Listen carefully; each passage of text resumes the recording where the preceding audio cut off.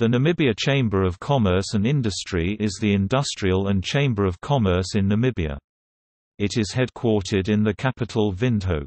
In March 2013, the chamber had about 2,500 members.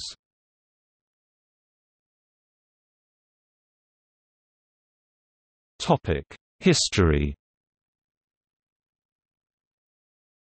The Namibian Chamber of Commerce and Industry was established in 1990 as Namibia National Chamber of Commerce and Industry in Windhoek.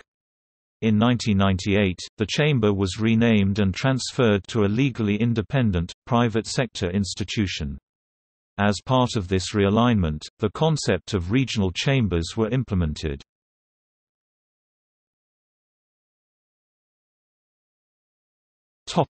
Tasks and structure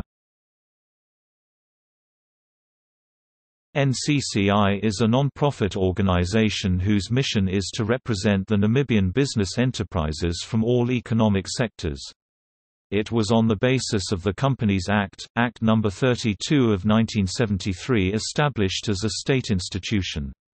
Additional areas of responsibility of the NCCI counts Legal contact Organizing and conducting conferences and trade shows Issues of trade Information gathering and reporting Further education Supreme establishment of the Namibian Chamber of the General Assembly, which convenes twice a year.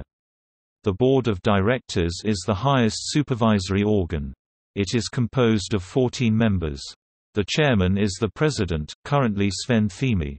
Another body of the chamber is to represent the regional chambers. In daily business, the NCCI is led by the Secretariat. This is the Chief Executive Officer, currently Tarah Shaanika. The Namibia Chamber of Commerce and Industry is represented at regional and local level through regional chambers. These deal mainly with local issues.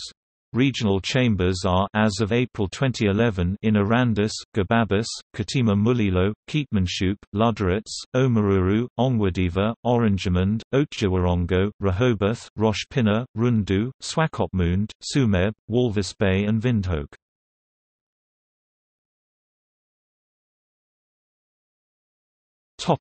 Membership The Namibian Chamber of Commerce and Industry has no system of compulsory membership. Membership is open to all Namibian companies but differs for micro, small and medium-sized enterprises and large corporations. In addition, there are special memberships for diplomats and associated facilities.